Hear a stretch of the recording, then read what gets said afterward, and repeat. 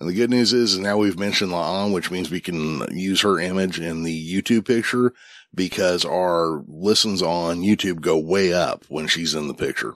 There we go. Mm-hmm. Nice little, nice little fan service moment for you other. Exactly. In the crew lounge, Captain Pike was deep into reviewing the case notes when he had an unexpected encounter with Captain Batel. Both officers were actually aware that Pike's name was conspicuously absent from the defense's witness list. Pike, with his signature charm, reminded Batel that he had known Una longer than anyone on the ship. He recalled their meeting at the academy where he had delivered an inspiring speech, there's a shocker, about a test mission mishap. Una, never one to hold back, had approached him afterward to point out his re-entry blunder.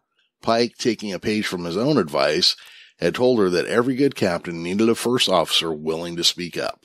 Batel, not one to miss a beat, brought up their shared history and the fact that she had told Una the same thing before transitioning into professional mode. She warned Pike about the potential consequences of testifying. Pike could practically hear her saying, no inspiring speeches today. She emphasized that his testimony could lead to charges of conspiracy and jeopardize not only his career but the entire crew's well-being. Pike, ever the pragmatist, was left with little choice but to heed her warning and let others do the talking. In another corner of the ship, Ortegas and Dr. M'Benga found themselves having a bit of, fun at the expense of a rather tense encounter between Spock and Admiral Pasalk. Ortegas playfully reenacted their conversation as if they were emotionless Vulcans, while M'Benga, who had a taste of Vulcan culture, couldn't help but appreciate the underlying tension. When Spock finally approached them, he offered a full apology for his outburst, acknowledging that Pasalk had a unique talent for bringing out the worst in him. As Spock departed, Ortegas and M'Benga struggled to maintain their composure and not burst into laughter. I actually really like that scene.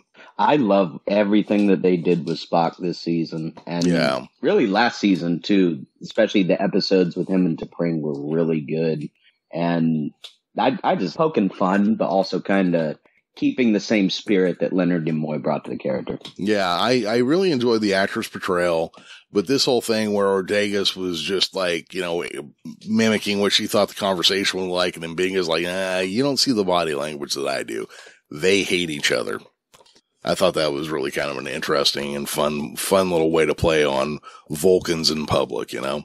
Yeah, I wish they would have done a little bit more between those two with this episode, though.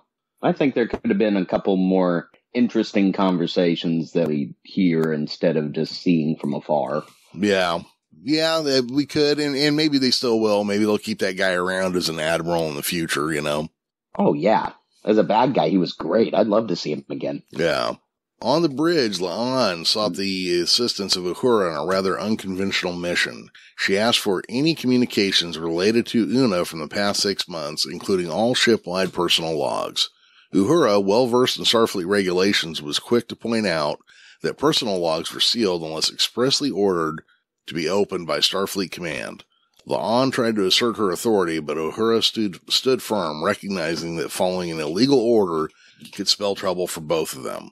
She made it clear that it wasn't what Una would want. Uhura, I'd rather not find myself in a Klingon prison, thank you. Let's stick to the prime directive of following the rules. Okay, that's not an actual quote. Chat GPT came up with that one. So you go to Klingon prison for breaking the Prime Directive, and the Prime Directive is now rules. yes, yeah.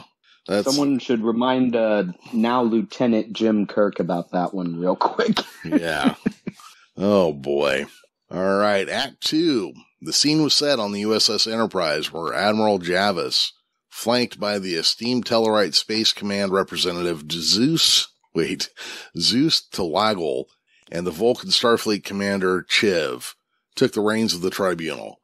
With precision worthy of a Vulcan, Javis turned to Una and inquired if she consented to Captain Batel's appointment as the prosecuting officer. Una, with an air of resignation, gave her consent. The charges were then read aloud, formally accusing Una of violating Starfleet's code regarding permanent DNA modification, submitting falsified information to Starfleet, and two counts of sedition. Una, summoning her inner Vulcan, pleaded not guilty. Now, I have to point out real quick mm-hmm. that ChatGPT did get it wrong. It was not on the Enterprise. It was on Earth. The scene was set on the. Oh yeah, see, okay, you're right. I didn't. I didn't. I wasn't even paying any attention to that part. Yeah, they are trying to say it's still on the Enterprise, and it is not. Uh, okay. Well, that's, that's one major negative right there.